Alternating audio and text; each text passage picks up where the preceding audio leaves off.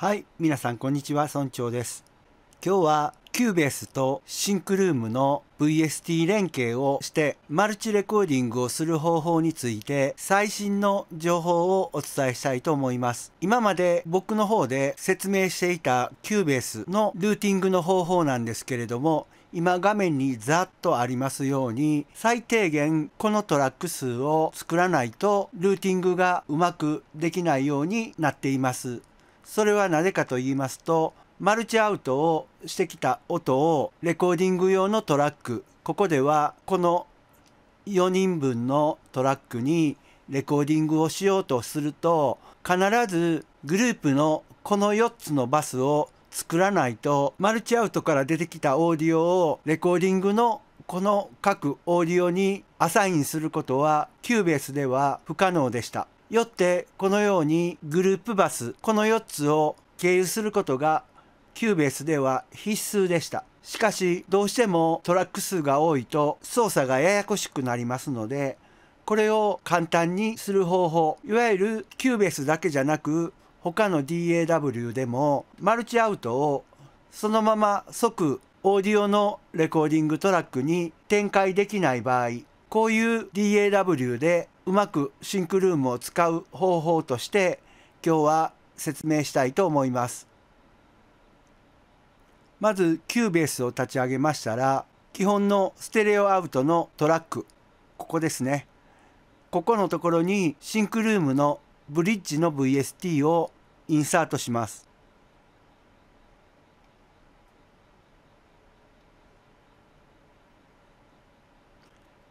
はいこのようにすると SyncRoom が自動的に立ち上がってきましてしばらくすると VST 連携という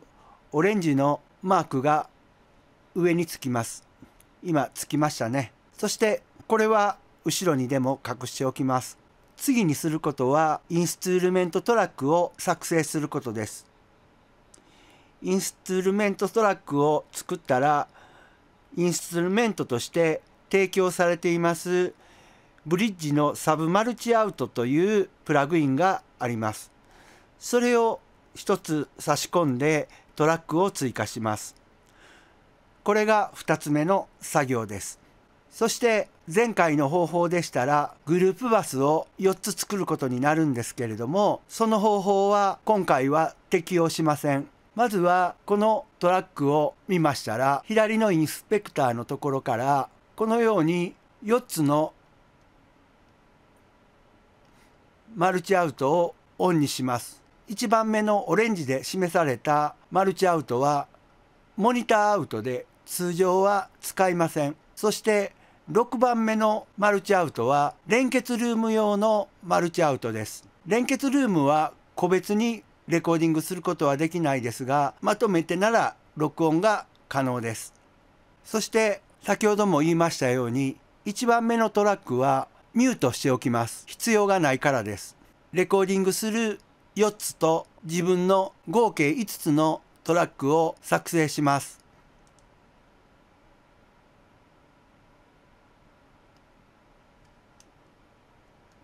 トラックはステレオで作成します。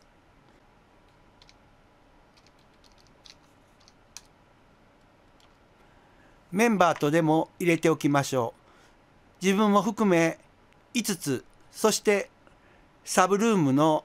6つのオーディオトラックを作成します。わかりやすいようにメンバー6を自分と直しておきましょう。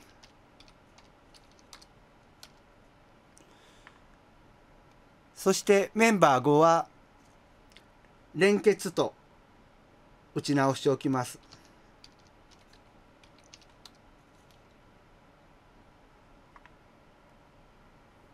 そしてここからがミソです。ドーテックさんという国内のプラグインメーカーさんで D サイドインという便利なソフトウェアがあります。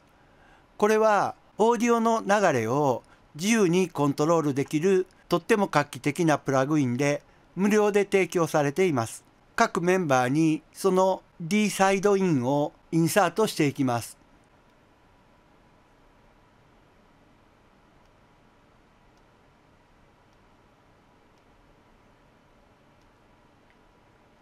このような画面ができます。画面上部にサイドチェーン。これを設定する場所があります。サイドチェーン入力を追加。そしてこのシンクルームのメンバーアウトの位置を設定します。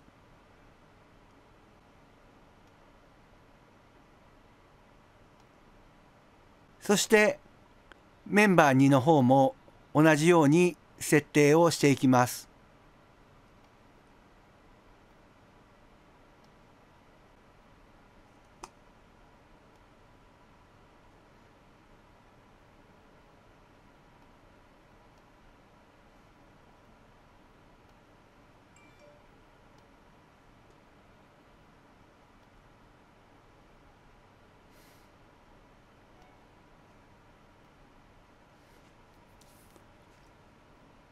次は3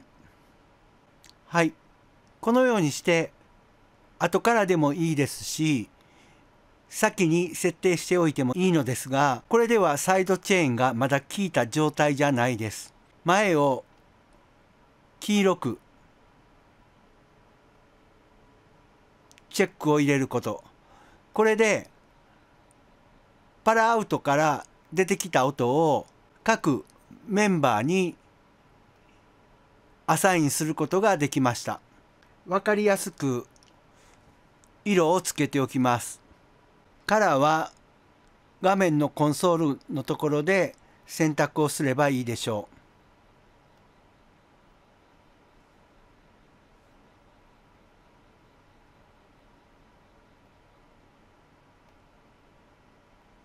う。もちろん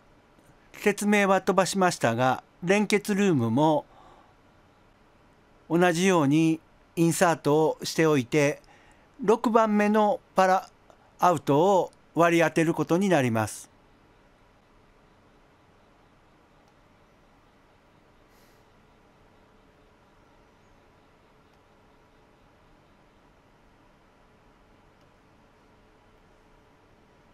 流れとしてはこのようになります。僕は工夫としてもう一つグループバスを作成しておきます。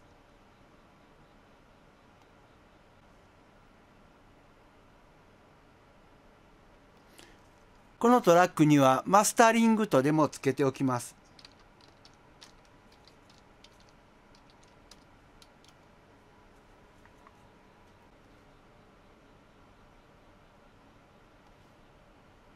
このマスタリングのところには自分が使いたいマスタリング用のコンプレッサーだったりイコライダーだったりそういうものを挿しておくととてもいいと思います。先ほどのドーテックさんの中に DPOPMAX というソフトウェアがあります。これは音圧を簡単にアップダウンできるそういうツールなんですがこういうものを入れておいて各トラックのアウトプットをこのトラックにしておきます。コンソール画面から一番上のルーティングを選ぶとこのようにインアウトをアサインすることができます。このステレオアウトをすべて今作ったグループのマスタリングのところに割り当てます。これでレコーディングトラックはマスタリングバスにアサインできたことになります。レコーディングするような時は音が回らないようにここをミュートをしておくと良いでしょう。そしてこのマスタリングはステレオアウトにルーティングしておきます。この D サイドインのプラグインをこのようにしておくとミキサーのように各入力がフェイダーでボリュームコントロールをこのようにすることができます。マルチトラックで4人分プラス連結ルームの音を同時にレコーディングするような時のゲインをコントロールできることになります。メーターも表示されますので便利な入力が可能になります。マルチアウトのパラアウトチャンネルは見せたくない場合複数選択をして右クリックからチャンネル表示エージェントというのを出して選択チャンネルを隠すというのにするとこのようにとってもすっきりしたミキサーになります。あとは新たに重ね録音などをする時にはオーディオトラックを作ってそしてここにサイドチェーンを入れます。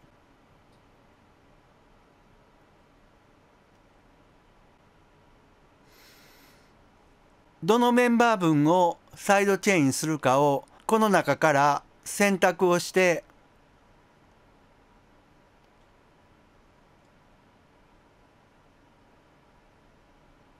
レコーディングをするメンバーを追加すると良いでしょう。今回は Cubase もしくはグループバスを作らないとルーティングができない DAW はいくつかあることを確認しています。そういう DAW をお使いの方は無料ですので、このドーテックさんの D サイドインをうまく使えば、すっきりとした SyncRoom のマルチトラックレコーディングが可能になります。さらにグループバスを使ってでもできないようなアビリティ3.0のようなソフトウェアの場合はこのノウハウを使えばとても簡単にシンクルームのレコーディングが可能になります。皆さんもぜひシンクルームでのレコーディングに挑戦してみてください。またわからないようなことがあれば SNS などを通じてご相談ください。村長でした。